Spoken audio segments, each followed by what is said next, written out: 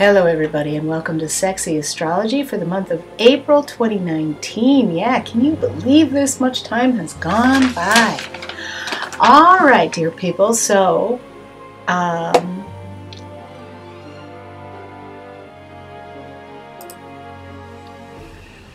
Hello, dear Taurus from Sexy Astrology for April 2019. Yeah, you are moving into a new phase.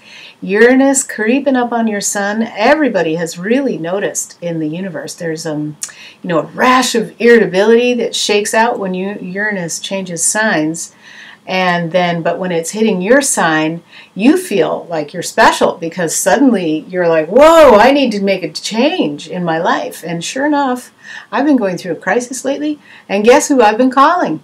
I have like six tauruses at least four. But you know six on a good day there's the other two tauruses that i barely know that are starting to come around.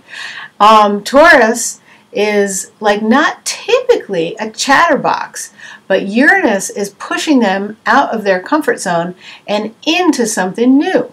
So I write here, you can never know enough people, dear Taurus, to move ahead to the next phase of your development. Adopting new behaviors and getting into position for the next level. It could be a new job, changes within the job, um, adjustments in your home life, um, Uranus, the outer planets point to where we are in public, our public persona. So I believe that has more to do with your job life than anything. And sure enough, a dear Taurus friend of mine called me up and she's like, I'm going to change jobs. I'm going to blah, blah, blah. I was like, yeah, that's perfect time because Uranus is on your sun.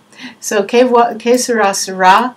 Um, you know, I would urge you to do something, even if it, there's not a huge financial payoff, do something that makes you feel good in your body, comfortable in yourself.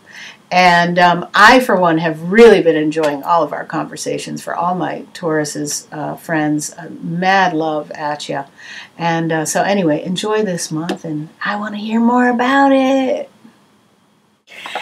Yes, dear Taurus, I just want to add that it could be that you feel like you're ready to be in a position of authority. And I would encourage you to definitely do that because your sense of fairness is up and it and you're a very good employer. But I also know that deep down what really matters is that you feel like you're cultivating something good in this world and you're moving towards something that will benefit the planet. Um, and and and it's not just about the money okay